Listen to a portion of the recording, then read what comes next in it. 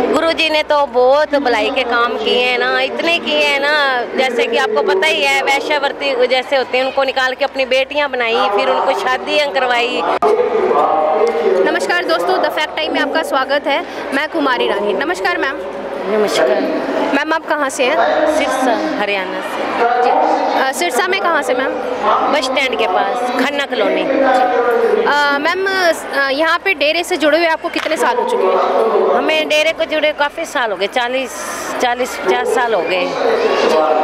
आप जब यहाँ पे आते हैं तो किसी की मैं अपनी मम्मी के साथ आती थी छोटे होते। अपनी मम्मी के साथ आते थे तब से जुड़े हुए हैं। जी। यहाँ पे आ, आपको कोई मतलब स्पेशली आप अपने मन से आते हैं या किसी दबा, किसी के कहने पे या फिर आपको यहाँ पे आने के बाद में क्या कुछ मिलता है? हमें यहाँ आने से पहले तो हमारे घर में कुछ नहीं था। जब से हम डेरे से जुड़े हैं ना, मालिक की इतनी कृपा हुई है, इतनी कृपा हुई है, किसी चीज़ की कमी नहीं रखी। किसी के आगे ऐसे हाथ फैलाने की ज़रूरत ही नहीं आई। बस जो कुछ दी उन्हीं इन्हीं का दिया हुआ है हमारे पास। जी। बहुत यहाँ पे मैम स्पेशल कुछ ऐसा है जो धर्म से लेकर शिक्षा दी जाती है? स्पेशल कोई धर्म को लेकर शिक्षा दी जाती है यहाँ पे? नहीं यहाँ तो कोई ऐसा धर्म को लेकर नहीं कोई शिक्षा दी जाती। यहाँ तो सब धर्म संगम है। एक सच्चा नारा है सबके। कोई धर्म के लिए ऐसी कोई बात नहीं की जाती कि यहाँ सबका एक ही बैठना है यहाँ सब कुछ एक ही जैसा है। आप एक महिला हैं। एक महिला के रूप में आप यहाँ पे आकर कितना सुरक्षित महसूस करती हैं? यहाँ डेरे में आके पिताजी तो जानी जान है, सतगुर है। हमें यहाँ पर के कोई नुकसान नहीं होगा। हमारे सच्चे पातशाह जी हमारे साथ हैं अंग संग। जो सरकार ने गुरु जी के ऊपर आरोप लगाया था खासकर महिलाओं को लेकर तो उसके लिए आप क्या कुछ कहना चाहेंगे? देखो दीदी ये तो सब कुछ झूठ है। हमें पता है हमारे सच्चा मैं मैं इतनी सी थी जब से डेरे से जुड़ी हुई हूँ। और पिताजी तीन परहेज बताते हैं है ना? और ऐसे काम फिर जो गुरु हमें अच्छी शिक्षा दे रहा है वो खुद थोड़ी करेगा। गलत कोई ऐसा ये तो भगवान है सतगुर हैं। हैं। राम रहीम है ये तो। ऐसा तो कुछ है ही नहीं, ये सब कुछ झूठ है। ये एक अनमदन कहानियाँ बना रहे हैं डेरा सच्चा सौदा को बंद करने के लिए। आप जानते ही हो कि पिताजी को जैसे कि नश, नशा बंद करवाते हैं, पिताजी के खिलाफ हो जाते हैं। पिताजी कहते हैं, दाता भगवान तो देता है, लेता नहीं है। जैसे मंदिरों में पैसा चढ़ाया जाता है, वो तो दाता है, लेता थोड़ी इसीलिए सारे पिताजी के खिलाफ हो जाते हैं कि ये झूठ बोल के इनकी ये डेरा बंद हो जाए।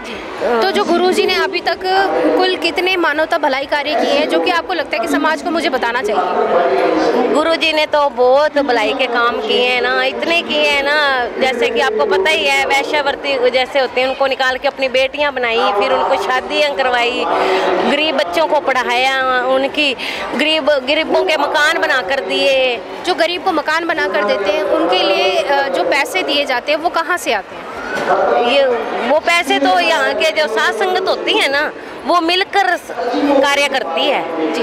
मतलब जो सात संगत अपने घर के मतलब अपनी कमाई से निकाला हुआ हिस्सा उनको देते हैं तो जो अब ये तो सात समाज की बात है। गुरु जी का कितना यहाँ पे योगदान होता है इस चीज़ के लिए?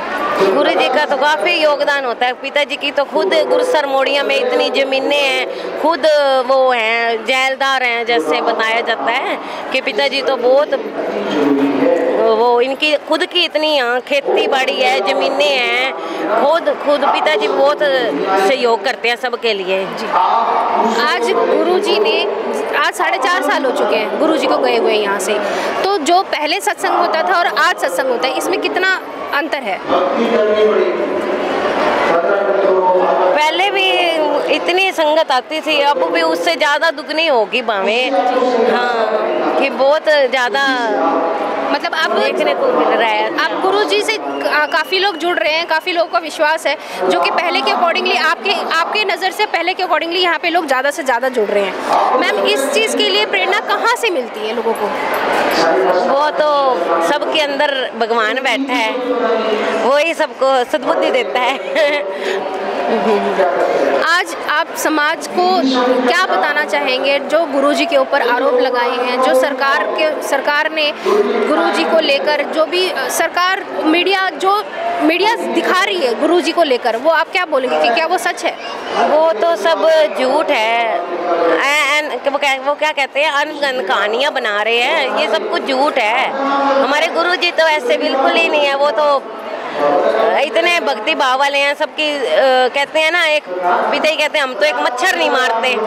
मच्छर नहीं मारते वो इतने बड़े कैसे कांड कर सकते हैं? इनका पिता से कोई लेना देना नहीं है। ये तो पिता को फंसाने की साजिशें करते रहते हैं लोग। सरकार से आप क्या अपील करेंगे गुरुजी को लेकर? सरकार से तो हमारी यही अपील है हमारे गुरु जी जल्दी से जल्दी आ जाए हमें दर्शन दे दे। हमें और कुछ नहीं चाहिए बस हमारे पिताजी चाहिए।